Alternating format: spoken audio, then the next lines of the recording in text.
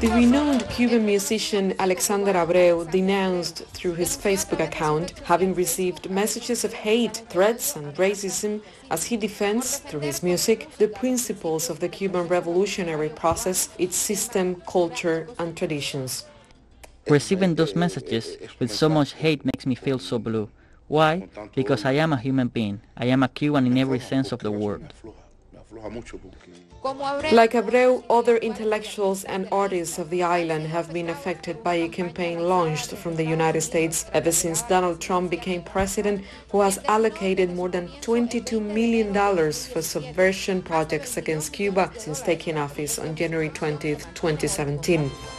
As you can see, these are attempts to harm Cuba in practically all areas that are important for the country's economic development. They have not been more successful and have not led to the collapse of our country because of the country's organizational capacity, because of the nature of our social system and because of the experience we have gained over many years. But it should not be ignored that it is significant damage that affects Cuba's potential for development, the well-being of the whole population and of course it is aimed at punishing the Cuban people.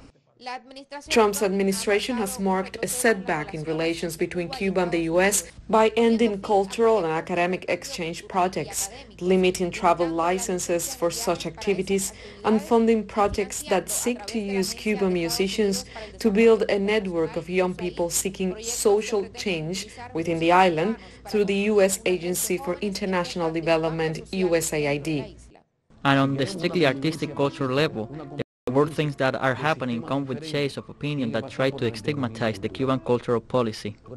I believe that art breaks down borders and tends to establish bridges of communication between human beings beyond any system or any prohibition.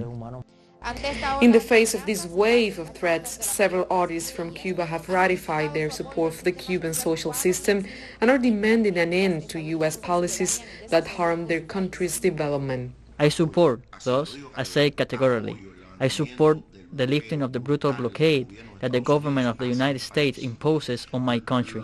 I support it, but not temporarily because of the epidemic. I support it every day. I believe it is inhumane. I believe it is murderous.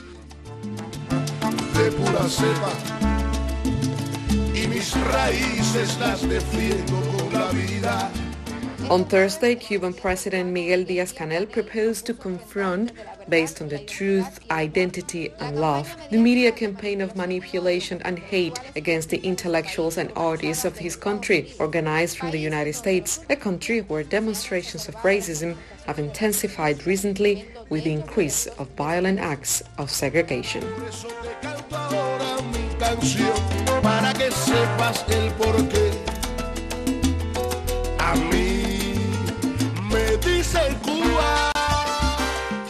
Nayara Tardo, Telesur, La Habana.